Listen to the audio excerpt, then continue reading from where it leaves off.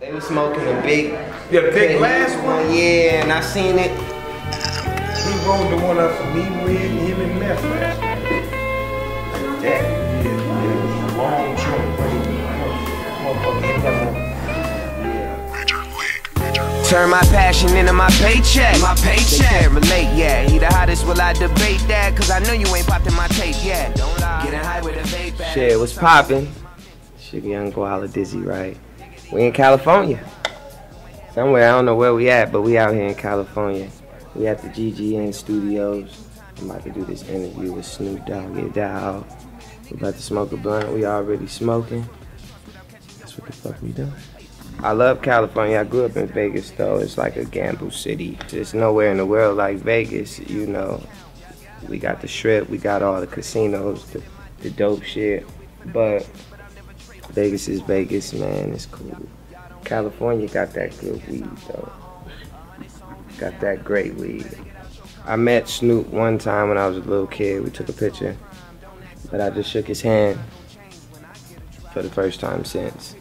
And I'm excited about that Down the soda, down the soda. My healthy mind, that's what's gonna help me over, help me over. Life of a stoner, if you still concerned. I never lose, I only win to learn. It's all about your state of mind. Picked up the yoga, put down the soda, down the soda. My healthy mind, that's what's gonna help me over, help me over. Life of a stoner, if you still Ladies and gentlemen, boys and girls, players and pimps, we'd like to welcome you inside the GGN News Network. I'm your host with the most, Finding Nemo, aka Nemo Hoes. And um, the music you hear in the background provided by my young homeboy, Day One. Special guest on the show today, yeah, freshman cover, 2013 Double XL, Dizzy Wright in the motherfucking house. Life of a stoner if you still concerned. I never lose, I only win to learn. It's all about your state of mind. I told him it's hard to be the man that never gives up. Lightweights and soap, but ain't nobody made it. They show you these so he put them glass tips. Oh, oh my God! You hear me? Nigga, Raw one. nigga, don't throw them away.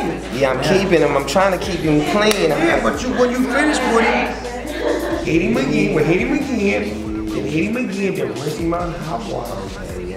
And him back out and go back in. I done made one last for about a whole month now. I think we having that residue. Yeah, dude. Right. Come on now. Yeah, I know. Really. They was smoking a big.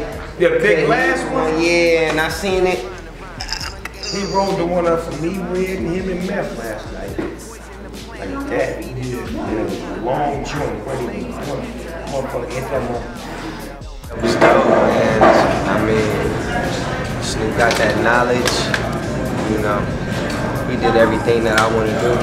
You know, so he took that path, and uh, I just want to be successful and smooth and humble. And uh, he shed a little light on me, so it was dope.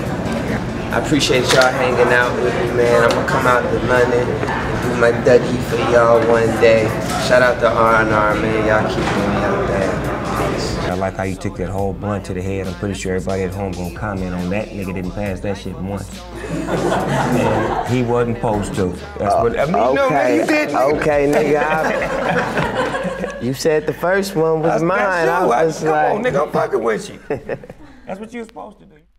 This is Kendrick Lamar shouting out my folks, R&R. Shout out to R&R. right here on R&R Productions. I am rocking with R&R. Been here with R&R Productions, man. R&R Productions. R&R Productions. Click right here, subscribe. All right.